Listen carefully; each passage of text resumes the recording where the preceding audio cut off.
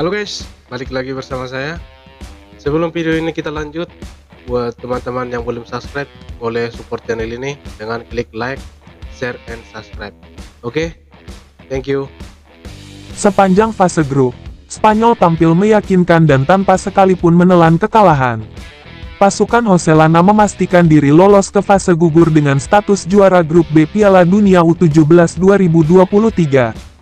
Spanyol mengumpulkan 7 poin dari tiga pertandingan, hasil dari dua kemenangan dan sekali seri. Di atas kertas, Spanyol lebih diunggulkan. Namun, bukan berarti Jepang akan menyerah begitu saja.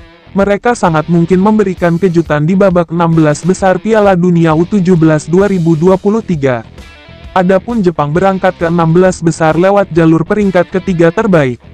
Tim besutan Yoshiro Moriyama itu mencatat total 6 poin. Oleh karena itu, kalau tak ingin angkat koper lebih cepat, Jepang wajib mewaspadai kekuatan tim negeri Matador tersebut.